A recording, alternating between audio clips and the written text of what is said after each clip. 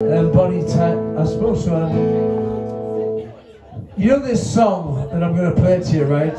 Tonight when you go home, put it on YouTube because you're too tight to buy the album. Right?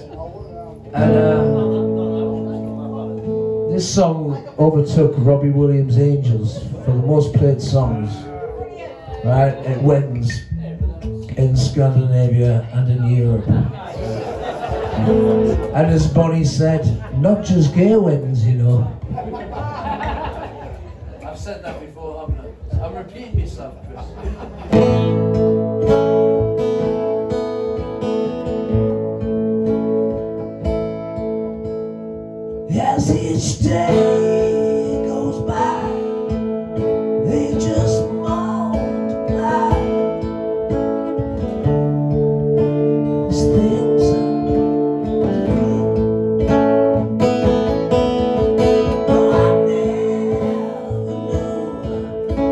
Your dreams